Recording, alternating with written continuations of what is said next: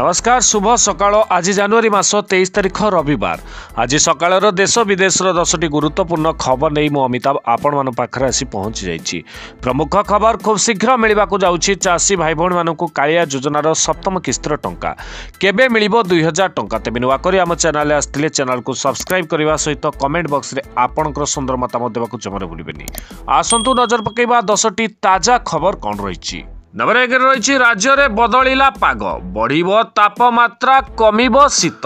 ରାଜ୍ୟରେ ପୁଣି ବଦଳିଲା ପାଗ। ଅଦିନିଆ ବର୍ଷା ସାଙ୍ଗକୁ ବଢିବ ତାପମାତ୍ରା। ପଶ୍ଚିମା ଝଡ଼ ପ୍ରଭାବରେ ରାଜ୍ୟରେ ଆସନ୍ତା ଚବିଶ ତାରିଖ ପର୍ଯ୍ୟନ୍ତ ବିଭିନ୍ନ ଜିଲ୍ଲାରେ ବର୍ଷା ସମ୍ଭାବନା ରହିଛି। ଗତ ପଶ୍ଚିମା ଝଡ଼ଠାରୁ ଏହାର ପ୍ରଭାବ କମ୍ ରହିଲେ ବି ଆସନ୍ତାକାଲି ବିଶେଷ କରି ଆଭ୍ୟନ୍ତରୀଣ ଉପକୂଳ ଓଡ଼ିଶାରେ ବର୍ଷାର ପ୍ରକୋପ ଅଧିକ ରହିବ ବୋଲି ପାଣିପାଗ ବିଜ୍ଞାନ କେନ୍ଦ୍ର ପକ୍ଷରୁ ଆକଳନ କରାଯାଇଛି। ଆସନ୍ତା ଚବିଶ ଘଣ୍ଟା ମଧ୍ୟରେ କେଉଁଝର ଏବଂ ମୟୂରଭଞ୍ଜ ଜିଲ୍ଲାରେ ଗୋଟିଏ ଦୁଇଟି ସ୍ଥାନରେ ଘଡ଼ଘଡ଼ି ସହିତ ବିଜୁଳି ବର୍ଷା ହେବାର ସମ୍ଭାବନା ରହିଛି। ତେବେ ଆଜି ଓ ଚବିଶ ତାରିଖରେ ବର୍ଷା ବଢ଼ିବ। ଏଥିପାଇଁ ଆଠଟି ଜିଲ୍ଲା କେଉଁଝର ମୟୂରଭଞ୍ଜ ବାଲେଶ୍ୱର ଭଦ୍ରକ ଯାଜପୁର ଜଗତସିଂହପୁର କଟକ ଏବଂ କେନ୍ଦ୍ରାପଡ଼ା ଜିଲ୍ଲାକୁ ପ୍ରବଳ ବର୍ଷା ନେଇ ୟେଲୋ ଆଲର୍ଟ ଜାରି କରିଛି ଆଞ୍ଚଳିକ ପାଣିପାଗ ବିଭାଗ କେନ୍ଦ୍ର ବର୍ଷା ସହ ସ୍ୱାଭାବିକ ଠାରୁ ଦୁଇରୁ ତିନି ଡିଗ୍ରୀ ପର୍ଯ୍ୟନ୍ତ ତାପମାତ୍ରା ବଢ଼ିବ ନବା ଦୁଇରେ ରହିଛି ସୋନପୁରରେ ଭୟାନକ ସଡ଼କ ଦୁର୍ଘଟଣା। ବରଯାତ୍ରୀ ଗାଡ଼ିକୁ ମୁହାଁମୁହିଁ ଧକ୍କା ଦେଲା ଟ୍ରକ୍। ପାଞ୍ଚ ମୃତ ପାଞ୍ଚ ଗୁରୁତ୍ୱ। ମିଳିଥିବା ସୂଚନା ମୁତାବକ ବରଯାତ୍ରୀରେ ଯାଇ ବାହାଘର ଭୋଜି ଖାଇ ଫେରୁଥିବା ବେଳେ ଏହି ଭୟାନକ ସଡ଼କ ଦୁର୍ଘଟଣା ହୋଇଛି। ବିନକା କୌଡ଼ିଆ ମୁଣ୍ଡାରୁ ପଞ୍ଚମହଲା ଓ ନମ୍ନା ଗାଁକୁ ବରଯାତ୍ରୀ ଫେରୁଥିବା ବେଳେ ମହାନଦୀ ବ୍ରିଜ ଉପରେ ବୋଲେରୋ ଟ୍ରକ୍ ମୁହାଁମୁହିଁ ଧକ୍କା ହୋଇଥିଲା। ବିଳମ୍ବିତ ରାତିରେ ଏହି ଦୁର୍ଘଟଣା ଘଟିଥିବା ଅନୁମାନ କରାଯାଉଛି। ଡବା ଦୁଇରେ ରହିଛି ଟ୍ରକ୍ ଧକ୍କାରେ ଓଲଟିଲା ବସ୍। ବାଲେଶ୍ୱର ଜିଲ୍ଲାର ସୋର ଥାନା ଅନ୍ତର୍ଗତ ବିଦୁ ଛକରେ ଗତକାଲି ଅପରାହ୍ନରେ ମର୍ମନ୍ତୁଦ ସଡ଼କ ଦୁର୍ଘଟଣା ଘଟିଛି।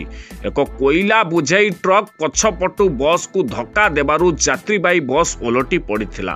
ଏଥିରେ ଛଅ ଜଣଙ୍କର ମୃତ୍ୟୁ ଘଟିଥିବା ସୂଚନା ମିଳିଛି। ଦୁର୍ଘଟଣାରେ ଅନେକ ଲୋକ ଆହତ ହୋଇଛନ୍ତି। ସୂଚନାଯୋଗ୍ୟ ଉଦଳାରୁ ଭୁବନେଶ୍ୱର ଅଭିମୁଖେ ଯାତ୍ରା କରୁଥିବା ଶାନ୍ତିଲତା ବସ୍ ବିଦୁ ଛକରେ କୋଇଲା ବୁଝେଇ ଟ୍ରକ୍ ପଛପଟୁ ଧକ୍କା ଦେଇଥିଲା ଫଳରେ ବସ୍ଟି ଓଲଟି ପଡ଼ୁଥିଲା। ଏହି ସମୟରେ ଯାତ୍ରୀମାନେ ବସ୍ରୁ ଓହ୍ଲାଉଥିଲେ। ଏଥିରେ ଛଅ ଜଣଙ୍କର ମୃତ୍ୟୁ ଘଟିଥିବା ବେଳେ ଅନେକ ଲୋକ ଆହତ ହୋଇଛନ୍ତି। ମୃତକଙ୍କ ମଧ୍ୟରେ ବର୍ଷକର ଶିଶୁ ଥିବା ସୂଚନା ମିଳିଛି। ନବଚାରରେ ରହିଛି ଏକ ଫେବୃଆରୀରୁ ଆରମ୍ଭ ହେବ ସମସ୍ତ କଲେଜର ସେମିଷ୍ଟାର ପରୀକ୍ଷା। ରାଜ୍ୟ ସରକାରଙ୍କର ବଡ଼ ଘୋଷଣା। ଦେଶରେ କରୋନା ମହାମାରୀ ମାଡ଼ିବାରେ ଲାଗିଛି। ମହାମାରୀକୁ ଦୃଷ୍ଟିରେ ରଖି ତାମିଲନାଡୁ ସରକାର ସେମିଷ୍ଟାର ପରୀକ୍ଷା ଅନଲାଇନ ମୋଡରେ ଆୟୋଜିତ କରିବାକୁ ନିଷ୍ପତ୍ତି ନେଇଛନ୍ତି। ରାଜ୍ୟରେ ଉଚ୍ଚ ଶିକ୍ଷା ମନ୍ତ୍ରୀଙ୍କ ପକ୍ଷରୁ କୁହାଯାଇଛି ଯେ ସମସ୍ତ ବିଶ୍ୱବିଦ୍ୟାଳୟ ଓ କଲେଜ ପାଇଁ ସେମିଷ୍ଟାର ପରୀକ୍ଷା ଏକ ଫେବୃଆରୀରୁ ଆରମ୍ଭ ହେବ। କୋଡ଼ିଏ ଫେବୃଆରୀ ପର୍ଯ୍ୟନ୍ତ ଏହା ଅନଲାଇନରେ ଆୟୋଜିତ କରାଯିବ। ନମ୍ବର ପାଞ୍ଚରେ ରହିଛି କୋଡ଼ିଏ ମହଲା କୋଠାରେ ଭୟଙ୍କର ଅଗ୍ନିକାଣ୍ଡ। ସାତ ମୃତ ପନ୍ଦର ପନ୍ଦରରୁ ଅଧିକ ଆହତ। ମୁମ୍ବାଇରେ ଥିବା ଏକ କୋଡ଼ିଏ ମହଲା କୋଠାରେ ଭୟଙ୍କର ଅଗ୍ନିକାଣ୍ଡ ଘଟଣାରେ ସାତ ଜଣଙ୍କର ମୃତ୍ୟୁ ହେବା ସହିତ ପନ୍ଦରରୁ ଅଧିକ ଲୋକ ଆହତ ହୋଇଛନ୍ତି। ଘଟଣାସ୍ଥଳରେ ଅଗ୍ନିଶମ ବାହିନୀ ପହଞ୍ଚି ନିଆଁକୁ ଆୟତ୍ତ କରିଛି। ସୂଚନା ଅନୁସାରେ କୌଣସି କାରଣରୁ କୋଠାରେ ଅଠର ମହଲାରେ ନିଆଁ ଲାଗିଯାଇଥିଲା। ସକାଳେ ସାତଟା ତିରିଶରେ ଏହି ଅଘଟଣ ଘଟିଥିଲା। ଯେଉଁ କୋଠାରେ ନିଆଁ ଲାଗିଛି ତା ନିକଟରେ ହିଁ ଭାଟିଆ ହସ୍ପିଟାଲ ରହିଛି। ଆହତଙ୍କୁ ନିକଟସ୍ଥ ହସ୍ପିଟାଲରେ ଭର୍ତ୍ତି କରାଯାଇଥିଲା। ଆହତଙ୍କ ମଧ୍ୟରୁ ତିନି ଜଣଙ୍କ ଅବସ୍ଥା ଗୁରୁତର ରହିଥିବା ଜଣାପଡ଼ିଛି। ତେବେ କେଉଁ କାରଣରୁ ଅଗ୍ନିକାଣ୍ଡ ଘଟିଥିଲା ତାହା ସ୍ପଷ୍ଟ ହୋଇପାରି ନାହିଁ ନମ୍ବର ଛଅରେ ରହିଛି ଆସନ୍ତା ସତେଇଶ ତାରିଖରୁ ପ୍ରଥମରୁ ଅଷ୍ଟମ ଶ୍ରେଣୀ ଛାତ୍ରଛାତ୍ରୀଙ୍କ ଆରମ୍ଭ ହେବ କ୍ଲାସ। ଆସନ୍ତା ସତେଇଶ ତାରିଖରୁ ପ୍ରଥମ ଅଷ୍ଟମ ଶ୍ରେଣୀ ପିଲାଙ୍କ ପାଠପଢ଼ା ୟୁଟ୍ୟୁବରେ ଆରମ୍ଭ ହେବ। ପ୍ରତ୍ୟେକ ସପ୍ତାହରେ ସୋମବାର ଠାରୁ ଶୁକ୍ରବାର ପର୍ଯ୍ୟନ୍ତ କ୍ଲାସ ଜାରି ରହିବ। ଏନେଇ ଓଡ଼ିଶା ବିଦ୍ୟାଳୟ ଶିକ୍ଷା କାର୍ଯ୍ୟକ୍ରମ କର୍ତ୍ତୃପକ୍ଷ ଓସେପା ପ୍ରକଳ୍ପ ନିର୍ଦ୍ଦେଶକ ଅଧ୍ୟକ୍ଷତା ବୈଠକରେ ଅନୁଷ୍ଠିତ ହୋଇଥିବା ବେଳେ ଏଥିରେ ଜିଲ୍ଲା ଶିକ୍ଷା ଅଧିକାରୀ ଡିଓ ଏଡିଓଙ୍କ ସମେତ ବିଭାଗୀୟ ଅଧିକାରୀମାନେ ଉପସ୍ଥିତ ଥିଲେ। ପାଠପଢ଼ା କିଭଳି ହେବ ଓ ଗାଇଡଲାଇନ୍ ସମ୍ପର୍କରେ ବୈଠକରେ ଆଲୋଚନା ହୋଇଥିଲା। ଏନେଇ ଛାତ୍ରଛାତ୍ରୀ ଓ ଅଭିଭାବକମାନଙ୍କୁ ୟୁଟ୍ୟୁବରେ ପାଠପଢ଼ା ସମ୍ପର୍କରେ ସଚେତନ କରିବାକୁ କୁହାଯାଇଛି। ନିଷ୍ପତ୍ତି ଅନୁଯାୟୀ ଆସନ୍ତା ସତେଇଶରୁ ୟୁଟ୍ୟୁବରେ ଲାଇଭ୍ ଷ୍ଟ୍ରିମିଂ କ୍ଲାସ୍ ଚାଲିବ। ପ୍ରଥମ ଦ୍ୱିତୀୟ ତୃତୀୟ ଶ୍ରେଣୀର ଗଣିତ ବିଷୟ ପାଇଁ ଖୋର୍ଦ୍ଧା ଜିଲ୍ଲାକୁ ଦାୟିତ୍ୱ ଦିଆଯାଇଛି। ପ୍ରତ୍ୟେକ ଦିନ ଗୋଟିଏ ଦୁଇଟି କ୍ଲାସ୍ ହେବ। ପ୍ରତ୍ୟେକ ବିଷୟରେ ଗୁରୁତ୍ୱପୂର୍ଣ୍ଣ ନୋଟ୍ ଉପରେ ପାଞ୍ଚରୁ ଦଶ ମିନିଟ୍ ଆଲୋଚନା ହେବ। ପ୍ରତ୍ୟେକ ଲାଇଭ୍ ଷ୍ଟ୍ରିମିଂ କ୍ଲାସ୍ର ଲିଙ୍କ୍ ପୂର୍ବଦିନ ସନ୍ଧ୍ୟା ପାଞ୍ଚଟା ସୁଦ୍ଧା ଛାତ୍ରଛାତ୍ରୀଙ୍କ ନିକଟରେ ପହଞ୍ଚାଇ ଦିଆଯିବ। ଛାତ୍ରଛାତ୍ରୀଙ୍କୁ ଏନେଇ ସଚେତନତା ନେଇ ଶିକ୍ଷକ ଶିକ୍ଷୟିତ୍ରୀମାନେ ଯତ୍ନବାନ ହେବେ। ନବସାତରେ ରହିଛି ଶସ୍ତା ହେଲା ବିଦେଶୀ ମଦ।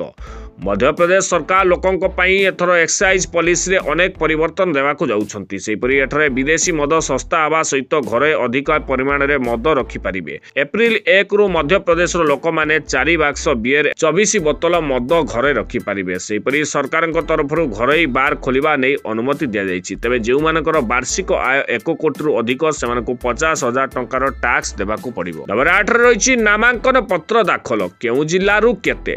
ସରିଲା ନାମାଙ୍କନ ଦାଖଲ ପ୍ରକ୍ରିୟା ଆସିଲା ତାଲିକା ୱାର୍ଡ ମେମ୍ବର ସରପଞ୍ଚ ସମିତି ସଭ୍ୟ ଏବଂ ଜିଲ୍ଲା ପରିଷଦ ପାଇଁ କେଉଁ ଜିଲ୍ଲାରୁ କେତେ ପ୍ରାର୍ଥୀ ନାମାଙ୍କନ କରିଛନ୍ତି ତାହାର ତାଲିକା ରାଜ୍ୟ ନିର୍ବାଚନ କମିଶନ ପକ୍ଷରୁ ପ୍ରକାଶ ପାଇଛି ୱାର୍ଡ ମେମ୍ବର ପାଇଁ ବାଲେଶ୍ୱର ଜିଲ୍ଲାରେ ସର୍ବାଧିକ ବାର ହଜାର ଦୁଇଶହ ଅଣାଅଶୀ ପ୍ରାର୍ଥୀ ନାମାଙ୍କନ କରିଛନ୍ତି ବାଲେଶ୍ୱର ତଳେ ରହିଛି ଗଞ୍ଜାମ ଏଠାରେ ଏଗାର ହଜାର ଛଅଶହ ସତାବନ ୱାର୍ଡ ମେମ୍ବର ପ୍ରାର୍ଥୀ ନାମାଙ୍କନ ଦାଖଲ କରିଛନ୍ତି ସେଭଳି ସରପଞ୍ଚ ପ୍ରାର୍ଥୀ ପାଇଁ ମୟୂରଭଞ୍ଜରେ ସର୍ବାଧିକ ଦୁଇ ହଜାର ପାଞ୍ଚଶହ ପ୍ରାର୍ଥୀ ନାମାଙ୍କନ ଭରିଥିବା ବେଳେ ତା ତଳେ ରହିଛି ଗଞ୍ଜାମ। ଗଞ୍ଜାମ ଜିଲ୍ଲାରୁ ଦୁଇ ହଜାର ଶହେ ଛୟାନବେ ପ୍ରାର୍ଥୀ ନାମାଙ୍କନ କରିଛନ୍ତି। ସମିତି ସଭ୍ୟ ପାଇଁ ମଧ୍ୟ ମୟୂରଭଞ୍ଜରୁ ଅଧିକ ନାମାଙ୍କନ ପତ୍ର ଦାଖଲ କରାଯାଇଛି।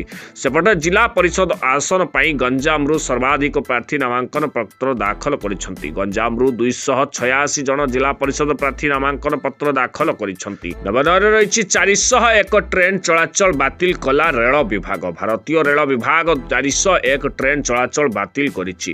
ଭାରତୀୟ ରେଳ ବିଭାଗ ଶୁକ୍ରବାର ଚାରିଶହ ଏକ ଟ୍ରେନ୍ ଚଳାଚଳକୁ ବାତିଲ କରିଦେଇଥିବା ଜଣାପଡ଼ିଛି ଖରାପ ପାଣିପାଗ ଏବଂ ପରିଚାଳନା ସ୍ଥିତିକୁ ଦୃଷ୍ଟିରେ ରଖି ଏପରି ନିଷ୍ପତ୍ତି ନେଇଛି ରେଳ ବିଭାଗ ଉତ୍ତର ଭାରତରେ କୁହୁଡ଼ି ଜମିଥିବା ବେଳେ ବିଭିନ୍ନ ରାଜ୍ୟରେ ପାଗ ଖରାପ ରହିଛି ଦିଲ୍ଲୀ ମହାରାଷ୍ଟ୍ର ଗୁଜରାଟ ପଶ୍ଚିମବଙ୍ଗ ଉତ୍ତରପ୍ରଦେଶ ଝାଡ଼ଖଣ୍ଡ କର୍ଣ୍ଣାଟକ ମଧ୍ୟପ୍ରଦେଶ ତେଲେଙ୍ଗାନା ଆନ୍ଧ୍ରପ୍ରଦେଶ ଓଡ଼ିଶା ପଞ୍ଜାବ ଆସାମ ବିହାର ଆଦି ରାଜ୍ୟରେ ଟ୍ରେନ୍କୁ ଗୁରୁବାର ପରିଚାଳନା ତ୍ରୁଟିକୁ ଦୃଷ୍ଟିରେ ରଖି ବାତିଲ କରାଯାଇଥିଲା ଗୁରୁବାର ଚାରିଶହ ସଇଁତିରିଶଟି ଟ୍ରେନ୍କୁ ବାତିଲ କରାଯାଇଥିଲା Howrah Nuadilli express Puri Nuadilli express Gorakhpur Nuadilli express Mumbai Nuadilli express ଏବଂ କାନପୁର ନୂଆଦିଲ୍ଲୀ ଏକ୍ସପ୍ରେସ୍ ସମେତ ପାଖାପାଖି ତେରଟି ଟ୍ରେନ୍ ବିଳମ୍ବିତ ଚାଲିଥିବା ଜଣାପଡ଼ିଛି ଭାରତୀୟ ରେଳ ବିଭାଗ ପକ୍ଷରୁ ମିଳିଥିବା ସୂଚନା ଅନୁସାରେ ତିନିଶହ ଅଣଷାଠିଟି ଟ୍ରେନ୍କୁ ସମ୍ପୂର୍ଣ୍ଣ ବାତିଲ କରିଦିଆଯାଇଛି ଏଥିସହିତ ବୟାଳିଶଟି ଟ୍ରେନ୍କୁ ଆଂଶିକ ଭାବେ ବାତିଲ କରାଯାଇଛି ନବଦଶରେ ରହିଛି ଏମାନଙ୍କୁ ମାସ୍କ ମନା କେନ୍ଦ୍ର ସରକାରଙ୍କ ସାନିନ୍ କୋଭିଡ୍ ଗାଇଡ୍ଲାଇନ୍ କେନ୍ଦ୍ର ସରକାର ସ୍ୱାସ୍ଥ୍ୟ ଓ ପରିବାର କଲ୍ୟାଣ ମନ୍ତ୍ରଣାଳୟ ପକ୍ଷରୁ କୋଭିଡ୍ ସମ୍ପର୍କିତ